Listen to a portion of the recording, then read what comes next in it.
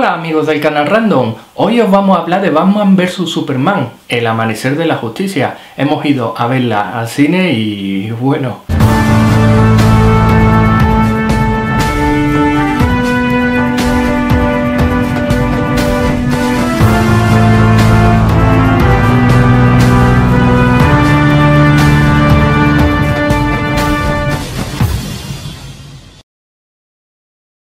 Para comenzar, quiero hablar de las expectativas que me había creado la película. Había visto varios trailers y bueno, no estaba muy convencido porque veía un exceso de, de CGI, de, de, digital, todo muy digital.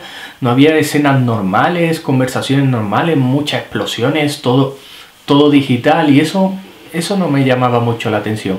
Luego ya sabéis el problema que hubo con el casting, ¿no? Primero por nuestro amigo Ben Affleck, que sería Batman. Luego, el Les Luthor, el Heisenberg, no sé, acertado o no. Ahora en el apartado de personajes os lo comentaremos. Sobre los personajes, vamos a comenzar pues, pues por el título, ¿no? Primero Batman, Ben Affleck.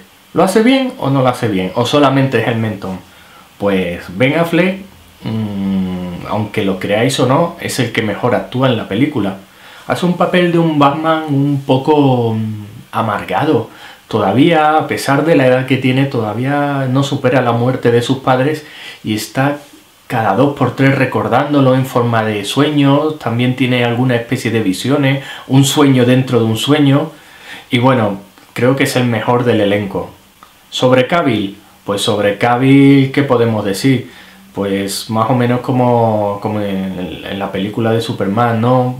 Un poco soso, no, no termina de convencer. Yo creo que el problema que tiene es la falta de carisma. No, no empatizo, no, no sé, le falta carisma, simplemente. Les Luthor, Eisenberg, el personaje de, de, la polémica, ¿no? Porque, bueno, es que se ha encargado el personaje. No quiero comparar con los cómics porque ya sabéis que las adaptaciones luego son de su padre y de su madre pero es que el papel que hace es como si fuera un, un Joker de, del Caballero Oscuro, es decir, es un psicópata, eh, tiene unas cosas muy, muy raras, unos planes muy absurdos, la personalidad es como, como, como nervioso, con tics, no, no, no pega, es que no, no es el Luthor, ni, ni se puede parecer al de los cómics, ya, ya os digo que no quiero mezclar, ni a los de las anteriores películas, es una cosa muy rara y es un personaje muy fallido que que lo siento por él, pero no. Sobre Wonder Woman, bueno, es un papel que cumple, cumple normalmente, pero sobre el personaje, no sé, incluso parece más fuerte que Superman y bastante más fuerte, ¿no? Porque en el combate que hay, no sé, creo que se le ha ido un poco de las manos, porque ya os digo, parece bastante más fuerte que Superman. No quiero spoilearos, así que bueno, cuando lo veáis juzgaréis. Pues empieza muy, muy bien. La película empieza muy bien, ¿no? Te cuenta los orígenes de Batman muy rápido, como un sueño. Y no sé cuánto demora, dos, tres minutos, porque es que realmente, ¿para qué contarnos otra vez la, la, historia del origen de Batman si ya lo conocemos? Así que han optado por la mejor opción, un resumen rápido, convertido en un sueño y punto. Luego, eh, enlaza el final o parte del final de la película de, Superman, es decir, cuando está el, el, ataque de Zod y sus hombres, el ataque alienígena, y lo, eh, y lo muestra desde el punto de vista de Bruce Wayne, algo que está muy bien, enlaza muy bien y, oye, empalma las dos películas, chapó por el montaje.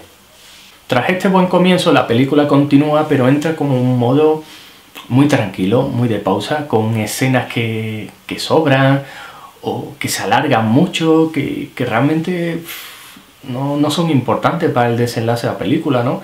Recordemos que la película dura casi dos horas y media. Y si encima te meten relleno, oye, bueno, no se hace aburrida, no obstante no se hace aburrida, pero abusan mucho de un recurso, que es el de los sueños. Hay como cuatro o cinco sueños. Hay un sueño dentro de un sueño, un sueño con una visión dentro, también tiene una visión Superman, que no, que no sé si, es que no sé si es un sueño, porque parece más una visión que un sueño, que, que se encuentra su padre y su padre le habla. No sé, su padre, me refiero a Kevin Corner, claro. Y bueno, y algo que no me ha gustado es el exceso de digital. todo muy digital, muy digital. ¿Qué conlleva eso? Pues que se ve todo muy falso. Luego hay una aparición de un monstruo, digo monstruo, entre comillas, los que hayáis visto la película sabéis a qué me refiero, que también es digital y que, queda mal, queda mal, no sé, yo, es que no me gustan las cosas tan digitales, prefiero cosas, puedes hacerlo de, otra forma, pero, pero bueno, no, no digital, en esa parte no me ha gustado, tiene escenas espectaculares. Y bueno, el desenlace, pues ocurre algo, ocurre algo importante, que no lo quiero spoilear, ocurre algo importante y luego justo al final, pues pasa otra cosa, ¿no? Y esa otra cosa dices tú, venga, sabemos que va a pasar, pero es que es tontería, ¿no? Errores e incoherencia de guion. Lamento deciros que hay errores y hay incoherencia de guion. Evidentemente no puedo hablar mucho sobre esto porque sería spoilear. Para explicar algunos errores, oye, pues voy a spoilear, ¿no? Pero como antes hemos hablado del monstruo, voy a hacer referencia a ello. Imaginaos, hay un monstruo, se provoca una explosión, todos los edificios de alrededor se destruyen y de repente está luchando con Batman en ese mismo sitio y Batman lanza el garfio y se engancha un edificio. Pero si no, no había edificio, ¿de dónde ha salido? Le ataca el monstruo y se engancha otro edificio. ¿De dónde han salido esos edificios? Es un detalle que solamente os puedo adelantar, ya haremos un vídeo de errores y hablaremos bien de esto, pero no quiero contar más por el tema de spoilers. Mi conclusión, pues mi conclusión es que es una película regular tirando a floja. Es decir, con todo el presupuesto que manejaban, publicidad invertida, elenco de actores, expectativas creadas, pues uno espera algo más y espera bastante más. ¿Te vas a aburrir viéndola? No, es entretenida, puedes ir a ver. Yo, que te recomiendo verla, oye, pues puedes ir a verla, no te esperes una maravilla, pero te vas a entretener, es un dinero bien invertido, pero no esperes que sea la mejor película de superhéroes como se estaba diciendo esta semana. Es que es la mejor película de superhéroes, es que el papel de Ben Affleck es increíble, es el mejor Batman. No, no, Ben Affleck lo hace bien, pero hombre, si pensé que es el mejor Batman, oye, son opiniones personales, pero en sitios que lo he leído, que son sitios grandes, yo creo que les han hecho un Mary Station, ¿no? Y bueno, eh, la crítica que estoy leyendo hoy precisamente es todo lo contrario y le están dando puntuaciones de 3 y de 4. Mi puntuación, pues... hombre, aprobado seguro, ¿no? Pero un 6, más de un 6 no, no le daría. Puedo dar entre un 5, un 6, podemos dar un 6, ¿no? porque bueno, ya te digo, lo pasas bien viendo la película. No esperes que esté bien hilada ni nada. Disfruta del comienzo, que es lo que a mí más, me ha gustado. Y luego, pues el final, pues me ha dejado un poco soso. Y luego las apariciones de Aquaman, de Flash, son recursos muy cutres. Eh, no, no os voy a adelantar cómo son, ¿no? Pero cuando lo veáis diréis, ¿esto qué es? Vaya de cameos, ¿no? En fin.